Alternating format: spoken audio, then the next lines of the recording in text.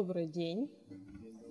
А, вы сегодня, вы сегодня представляете новую книжку, но и вспоминаем предыдущую книжку. Да?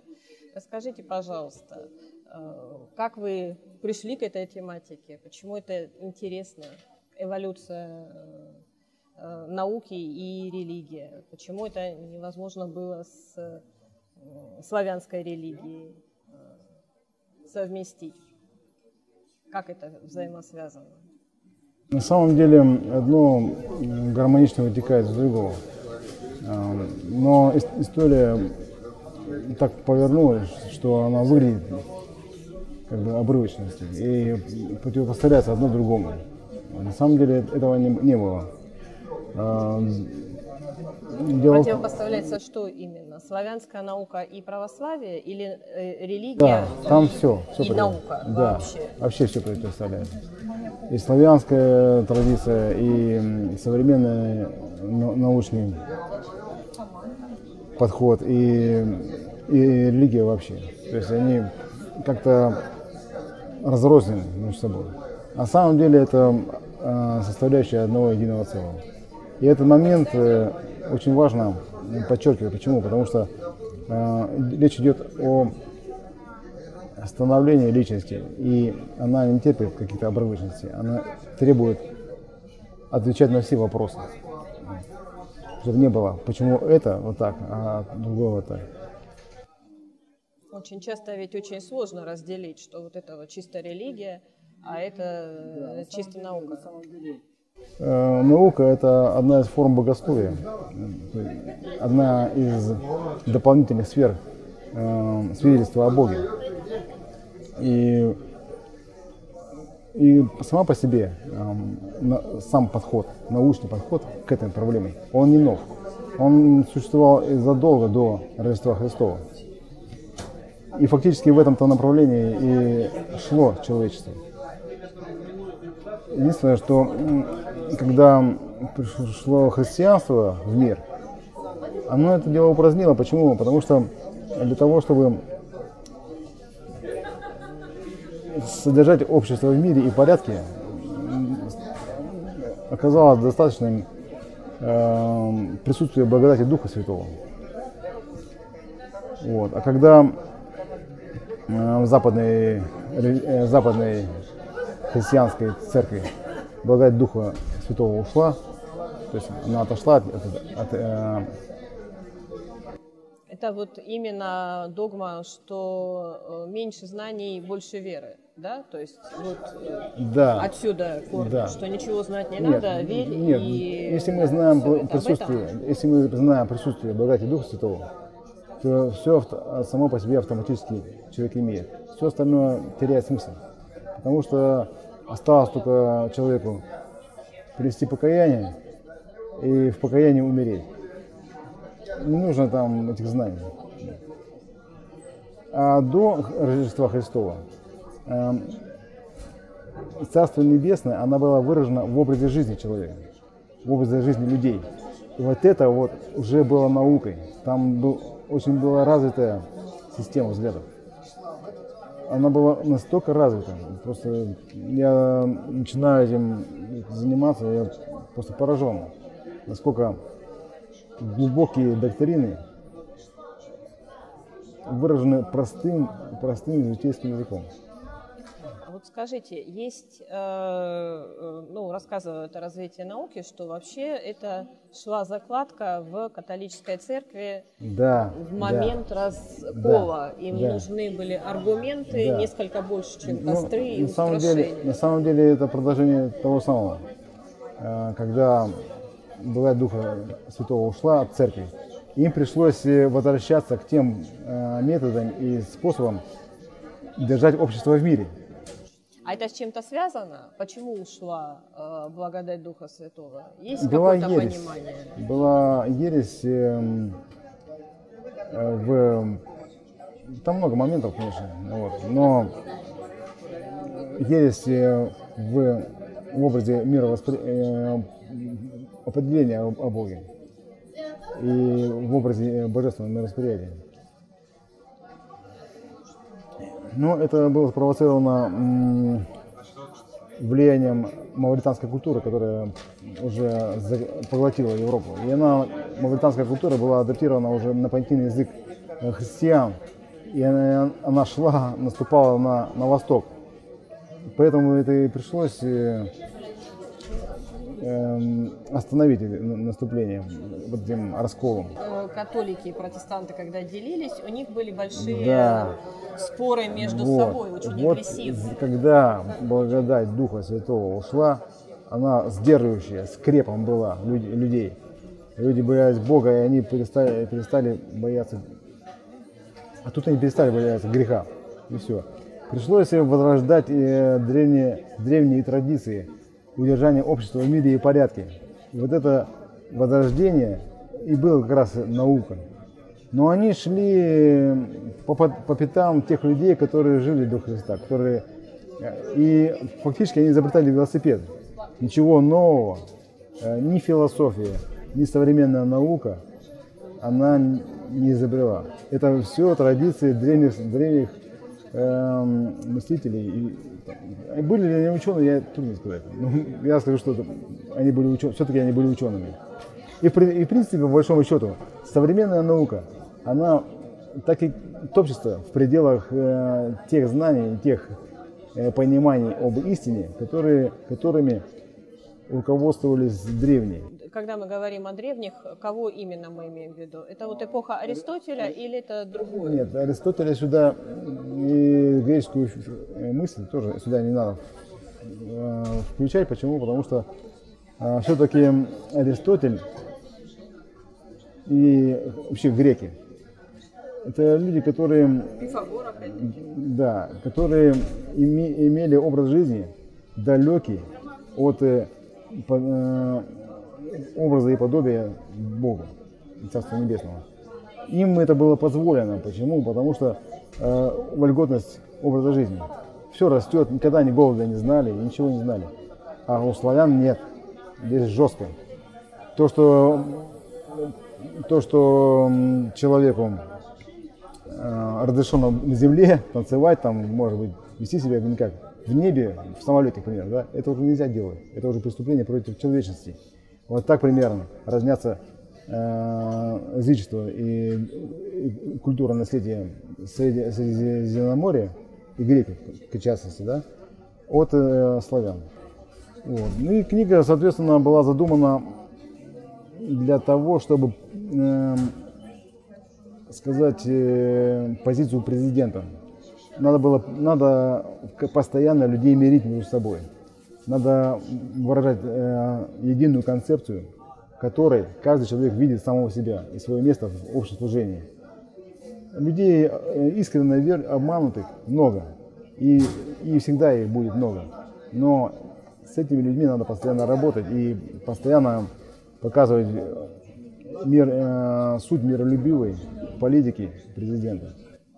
А вот скажите, э, по поводу Велесовых книг, периодически этот э, шум был, теперь это все стихло. Насколько я знаю, историки нашли доказательства того, что это было вброшено, потому что не могло такое количество материалов о древней э, славянских э, богах сохраниться. А что думаете вы по этому поводу? Вы наверняка На самом, этой Да, темой. я занимался этой темой. Дело в том, что когда ее писали, эти, э, псевдоученые эту книгу, они не знали некоторых, многих открытий, а эти открытия сделали, были позднее. И когда они писали, они не учли его. И это сразу видно.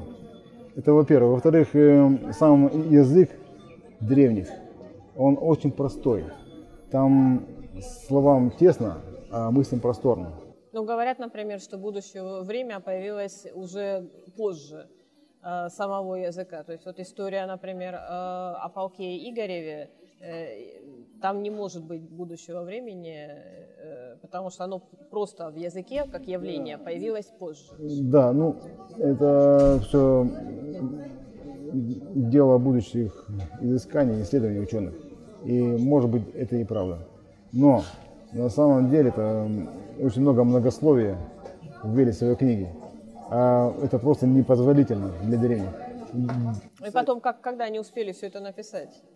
Пис, письменность на бересте ж была. -то. Эта книга была опубликована э, в Америке. Э, журнал «Жар птица» публиковал этот, э, эту книгу с 1951 или 2 года по 1959. Вот, 7 лет они это публиковали, фотографии этой книги и перевод. А фотографии остались, а сами книги, э, сами эти дощечки сгорели. Вот, и все. И как хочешь так. Ну, ученые говорят, что там э, перемешаны славянские слова чешского происхождения, польского, там, албанского, русского, украинского, белорусского. Вот. Все в кучу смешали они. Есть э, замечательный философ, богослов, э, профессор ГИМО Зубов. Как? Зубов э, Андрей, э, Андрей Борисович, по-моему. Вот. Он сказал одну вещь. Я сначала, когда слушал его лекции, я сначала его не принял. Он сказал, что раньше э, славяне передавали знания свои из уст в уста.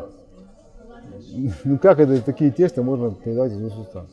А я потом понял, а на самом деле э, книги была сама, сам, само тело человека, организм, физиология его. И они умели выражать э, сильнейшие богословские доктрины, э, показывая функциональные, э, на функциональные взаимодействие органов человека. И это прекрасно, это я в книге своей там показал. А почему вдруг понадобилась все-таки наука в таком случае православным и славянам? Почему понадобилась смена вот, славянской религии на Э, православие? В чем здесь Дело в том, что э, всякая, всякая локализация и всякая ограниченность от мира, она фактически приводит к угасанию э, того, тех людей, которые оказались в этой э, ограниченности. Это важно сказать, потому что мы без э, и американцев, и без европейцев мы не сможем.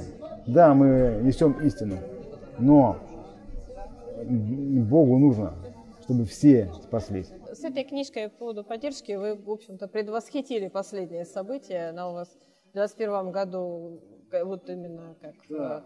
Э, почему надо поддерживать президента? Предвосхитили события. Она вышла в 2021 году, задолго до Э, последних событий, изоляция. Мне кажется, у нас вообще периодами есть изоляция, которая потом благополучно преодолевается. Это было озарение или это предсказание на основании каких-то естественных процессов, которые, может быть... Так, естественные процессы, они обладают силой. Потому что физиология – это такое естество, против которого нельзя идти. Если идешь, то идешь против себя.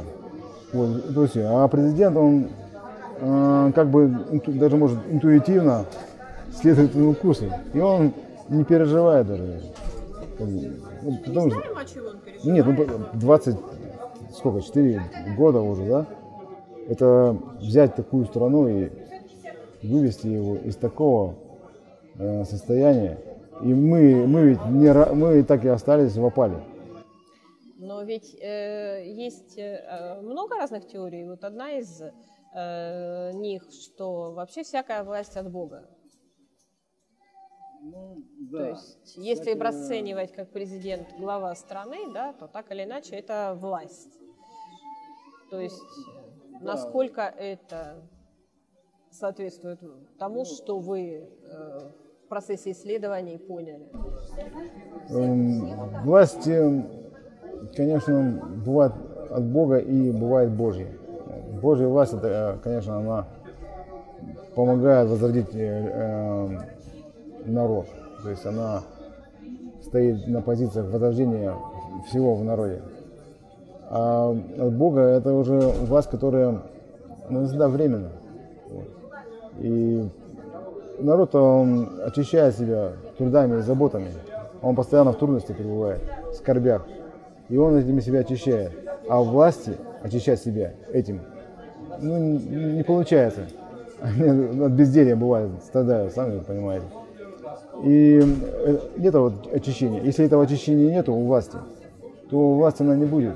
ну, временно она будет, понимаете? Это такой закон жизни, это от Бога, но ее проблемы, будет она, удержится она или нет.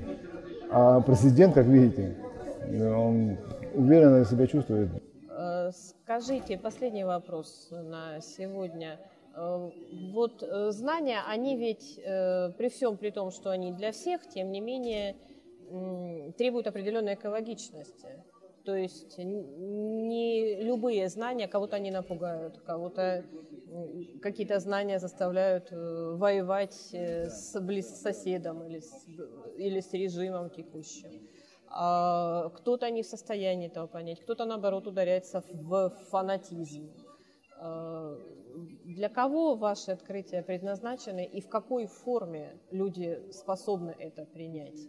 А у вас есть э, соображения или вы в творческом поиске находитесь? Нет. Э, на самом деле вопрос, который вы задали, очень актуальный. Вы очень правильно сказали. Эм, дело в том, что в современной э, церкви очень много вопросов возникает с некоторыми э, формулировками. Ну, например, возьми ближнего своего. Вот он над тобой издевается там, а ты как, как его любить? Вот как это съесть, как это принять это? Есть понятие о совершенной любви, а вот есть понятие о несовершенной любви. И вот между ними совершенная любовь – это какая-то высота. И между ними ответственная стена. И людям предлагают э, по этой ответственной стене лезть. Понятно, что там будут те, кто разобьется. А вот древняя славянская традиция, она как раз предлагает э, пологие склоны. То есть на эту, на эту стену можно пойти, забраться потихоньку, без ущерба и риска для жизни. И вот э, эти вопросы, кстати, этот, этот вопрос, э, эти знания, они нужны э, древнеславянская традиция – это религиозная традиция. Это один, один из опытов э, шествия народу ко Христу. Ну, ситуация еще и в том, что, что у нас э, очень э, много конфессиональная сторона. То есть у нас много религиозных течений. И недавно мне, мне священник один сказал, что в беседе наших, нашего духовенства с, с президентом страны э, они, э, духовенство жаловалось на то засилие, которое происходит э, со стороны мусульман. То есть они нельзя ли было это дело остановить. А президент сказал, возьмите и катехизируйте их. Понимаете, то есть просвещайте. Но на самом деле это так. И в принципе, по большому счету, э, нас э, объединяет общее, общее гораздо сильнее то прошлое, дохристианское, которое... Мы все идем ко Христу. И каждый опыт э, идти ко Христу, он важен, потому что мы рождаемся и бывает отходим от веры. И надо вернуться на, вновь к ней. И почему этот опыт мы должны забывать? Ну, вот эта книга, я пытался все эти вопросы в ней решить. Новых вам творческих успехов. А, вами... Мне они нужны очень сильно, да. Мне нужны силы и много работать. Дорабатывать надо. Спасибо вам.